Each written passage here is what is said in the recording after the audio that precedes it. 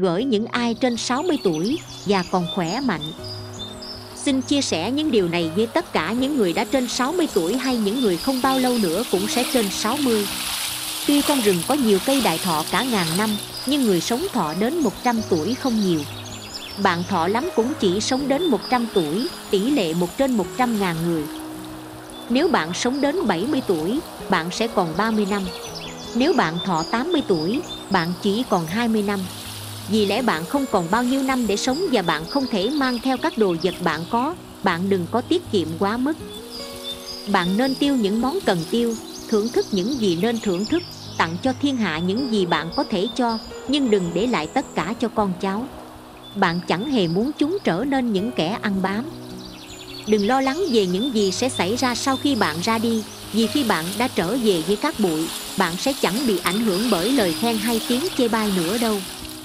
Đừng lo lắng nhiều quá về con cái vì con cái có phần số của chúng và chúng sẽ tự tìm cách sống riêng. Đừng mong chờ nhiều ở con cái. Con biết lo cho cha mẹ, dù có lòng vẫn quá bận rộn vì công ăn việc làm và các ràng buộc khác nên không thể giúp gì bạn. Các con vô tình thì có thể sẽ tranh giành của cải của bạn ngay khi bạn còn sống và còn muốn bạn chống chết để chúng có thể thừa hưởng các bất động sản của bạn. Các con của bạn cho rằng chuyện chúng thừa hưởng tài sản của bạn là chuyện dĩ nhiên nhưng bạn không thể đòi dự phần vào tiền bạc của chúng. Với những người thuộc lứa tuổi 60 như bạn, đừng đánh đổi sức khỏe với tài lực nữa. Bởi vì tiền bạc có thể không mua được sức khỏe, khi nào thì bạn thôi làm tiền. Và có bao nhiêu tiền là đủ, tiền muôn, tiền triệu hay mấy chục triệu. Dù bạn có cả ngàn mẫu ruộng tốt, bạn cũng chỉ ăn khoảng 3 lon gạo mỗi ngày. Dù bạn có cả ngàn dinh thự, bạn cũng chỉ cần một chỗ rộng 8 mét vuông để ngủ nghỉ ban đêm. Vậy chừng nào bạn có đủ thức ăn và có đủ tiền tiêu là tốt rồi. Nên bạn hãy sống cho vui vẻ.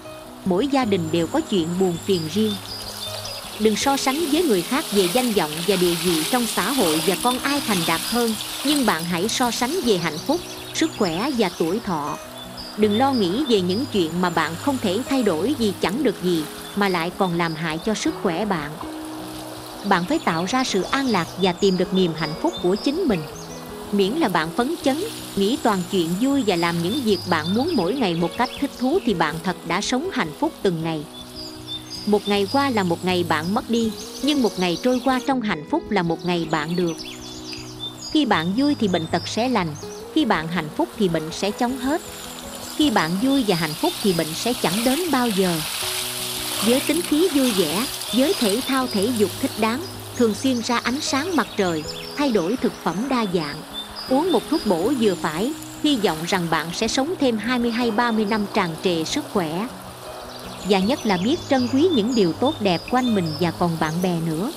Họ đều làm cho bạn cảm thấy trẻ trung và có người cần đến mình. Không có họ chắc chắn bạn sẽ cảm thấy lạc lõng bơ vơ.